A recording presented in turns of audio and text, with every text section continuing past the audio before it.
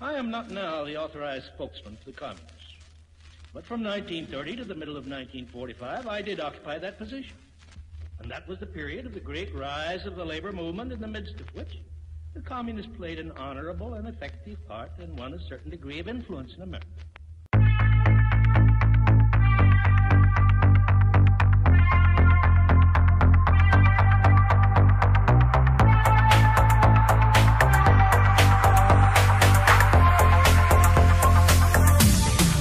Thank you.